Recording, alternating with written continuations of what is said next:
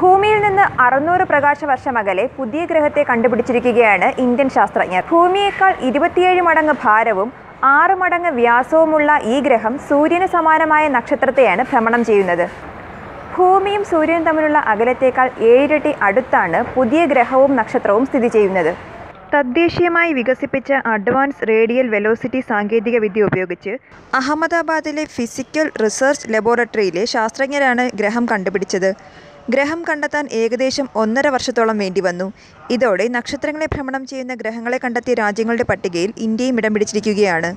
ഈ ഗ്രഹം പത്തൊൻപത് പോയിന്റ് അഞ്ച് ദിവസം കൊണ്ട് ഭ്രമണം പൂർത്തിയാക്കുന്നതായി ഐ എസ് ആർ വെബ്സൈറ്റിലൂടെ വ്യക്തമാക്കി. നക്ഷത്രത്തോട് വളരെ അടുത്തായതിനാൽ ഗ്രഹത്തിന്റെ താപനില അറുന്നൂറ് ഡിഗ്രി സെൽഷ്യസ് ആയിരിക്കും ന്യൂസ് ഡെസ്ക് മലയാളി വാർത്ത.